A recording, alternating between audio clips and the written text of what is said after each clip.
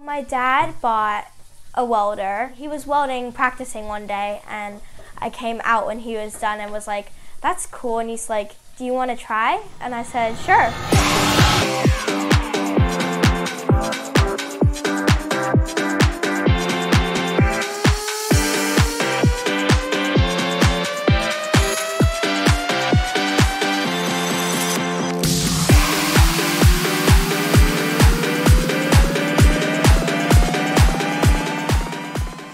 I like welding because I get to make creations and sell them and make other people happy. We are currently making snowman to sell down in Cape May.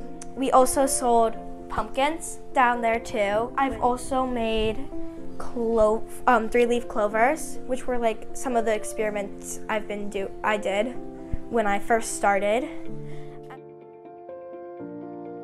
Just because most boys or girls do something doesn't mean that only they can do it. Like anyone can do anything really if they really tried hard and wanted to. I've gotten burned twice, one on my arm and one on my foot because I wore the wrong type of shoes. A spark flew over my helmet and hit me right here, but thankfully it didn't burn me or hit my eye.